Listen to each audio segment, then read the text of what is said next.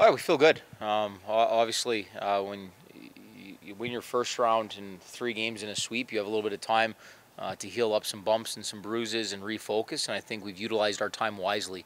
Um, we've recharged physically, we've recharged mentally, uh, been able to shift gears and focus on a new opponent while maintaining um, really what we have to do and worry about our own team. And um, we're just ready to play hockey at this point. Yeah, the um, you guys, you guys were saying you guys about a week and a half off to recover, um, and this next team is not like a, a, a bottom seed. This is the number two team. You guys number one team. This is gonna be a tough matchup. How you guys feeling going into it?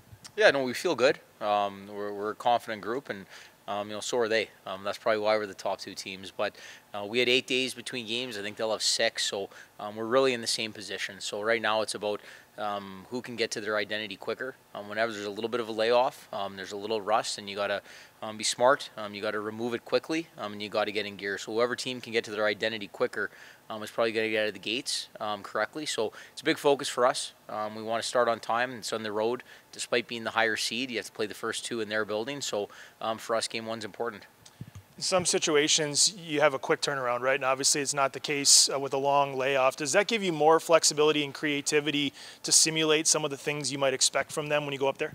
Yeah, you, you have to adjust on the fly, and whether it's a quick turnaround or a longer turnaround, um, you know, mentally I've been gearing up uh, with the staff all year for preparation, and um, in this situation, um, you know, we planned our, our, approach accordingly, and we were able to space things out correctly. We were able to space out some of the uh, work to rest ratio, and um, you know the the preparations in place. So um, you know it is an advantage to to have a little time, and now we have to use it wisely and uh, make sure we're ready to go some of the matchups against uh, Milwaukee, you guys matched up well against them in the regular season, a lot of close games. Um, do you plan on kind of experimenting a little bit with, with what worked and what you've seen recently from some of their tape when it comes to your preparations?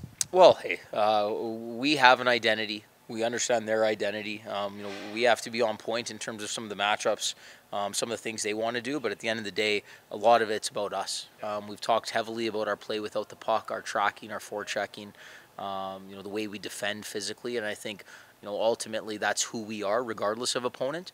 Um, now you sprinkle in some tendencies, you sprinkle in um, some things that their personnel like to do on a special teams, for example. Um, you know, that's the kind of stuff you have to gear up and be ready for uh, when you switch opponents. But um, we've gone over that. Um, at this point now, it's more refreshers than anything, and then you're ready for the final exam starting the two on the road. Um, you know, you've, you played in that building. That team hasn't had quite the success on their home ice as you guys have here in Cedar Park, but you've also played really well on the road this year. How much confidence does the team have going into to that building and, and playing the way you guys can? Yeah, well, we're, we're confident, um, you know, regardless of home or away, and I think – um, like I said, it's about getting to your identity fast. Um, and I think when you go into an opponent's building, especially in playoffs, you have to expect a hostile environment. You have to expect, um, you know, some momentum swings, some energy. And I think um, staying present and uh, really controlling those momentum moments uh, are going to be critical. Uh, I was just reading here that you, the Texas Stars became the first AHL team to advance to the divisional finals uh, with a three-game series sweep. Um, going into this divisional that strong, how, what do you guys want to do to keep that momentum going? Well, you know what? It was the play without our puck we talked about. Um, we made mistakes, um, but we made up for them quickly um, with our layers of support, um, avoiding compounding or complicating issues. And um, like I said, we did a real nice job but without the puck. Um, when we had the puck, we were pretty clean for the most part. And when you make mistakes, you move on um, and stay neutral and get ready for the next play. And um, it's going to be no different. Um, the further you go, expectations get heightened, pressure gets heightened, and that's part of it. And that's um, really what you enjoy this time of year. It's what the fans enjoy, um, to be quite frank. So for us, you know, let's get back to neutral. Let's get back to, to refocusing here for the first game, first shift, and then from there we'll uh, keep going. You're saying you guys make mistakes, and but you guys overcame them. So it seems like adversity is a, a familiar territory. Um, so anytime the guess in the net game one going on, if any adversity is going on, um, are there anything that you guys do to overcome those?